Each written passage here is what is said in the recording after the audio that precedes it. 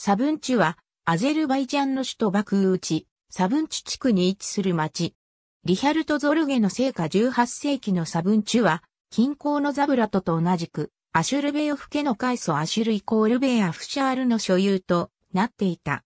サブンチュは1825年までには、アブシェロン半島最大の石油生産地となり、1880年には、バクー都市部までの 26km を結ぶ石油輸送用線路が敷かれた。1900年には、ベンケンドルフの機械工場が建てられ、それは1928年に正規工場、バクーの労働者に転換し、現存する。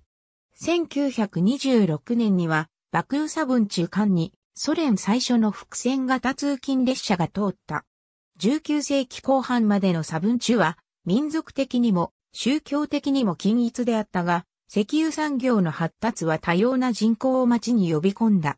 1892年には、ヨハン・エデルによって、エギペトの聖マカリー教会が木造建築として建てられた。その消失の後には、1904年に石造りの教会が再建された。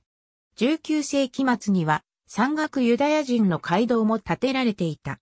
1900年から1931年までは、イラン人学校、タマドンやイラン領事館も置かれていた。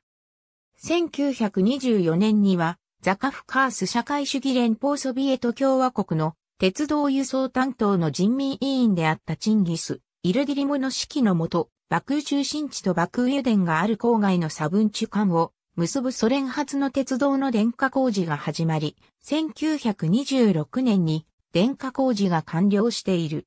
1893年の調査によれば、サブンチュの人口は814人で、そのすべてがタート人とされている。その後人口は、1975年には25,700人、2015年には31,700人と変化している。ありがとうございます。